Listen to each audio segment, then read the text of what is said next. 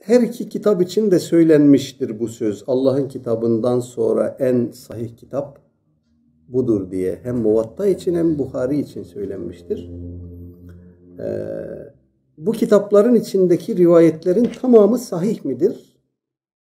Yani tek tek her bir rivayet itibariyle sahih midir? Hayır. Bu işin ehlinin bildiği, yazdığı, bilinen malum bir şey. Ee, İmam Malik'in muvattağında belagat tarzı rivayetler var. Belagani diye başlıyor. Bana ulaştığına göre Efendimiz şöyle buyurdu falan sahabi şöyle yaptı.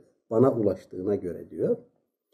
Onların e, senetlerini İbn Abdilber Temhid'de dördü hariç tamamını bulmuş. Başka kaynaklardan kendi senet silsilesiyle olsun başka kaynaklardan olsun.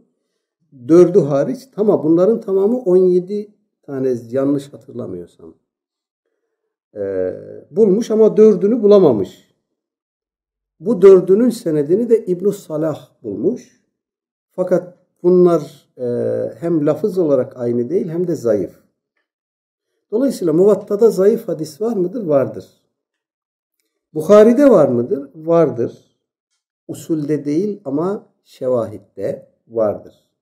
Yani e, Bukhari'deki bütün rivayetler sahihtir diye bir adam yemin etse yemini boşa gitmez tarzı tespitleri var alimlerin ama bu e, Bukhari'deki rivayetlerin usulleri asıl olan rivayetler içindir. Biliyorsunuz hadis kitaplarında iki türlü rivayet vardır. İki maksatla sevk edilmiş rivayetler vardır. Bukhari'de de böyledir. Birisi hangi babda zikredilmişse o babın başlığına temel teşkil eden hadistir falan şeyin mekruh olduğu babı diye bir bab var diyelim Bukhari'de. Altında bir hadis zikrediyor. İşte o hadis sahiptir.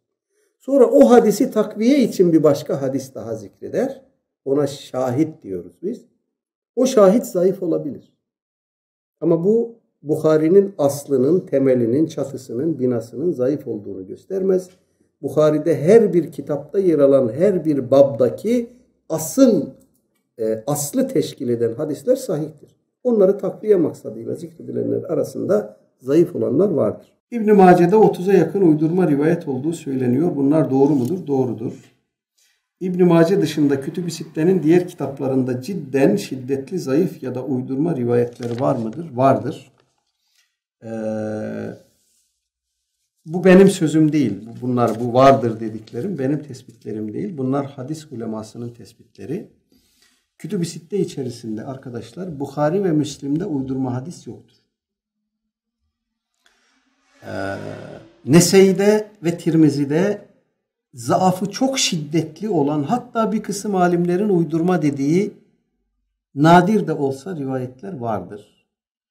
Ee, İmam Ebu Davud'un süneni de böyledir. İbn Mace'de ise uydurma olduğu açıkça nakledilmiş hadis uleması tarafından tasrih edilmiş rivayetler vardır. Özellikle İmam Busiri'nin Zevaidu İbn Mace'sine bakanlar bunu çok net biçimde görürler.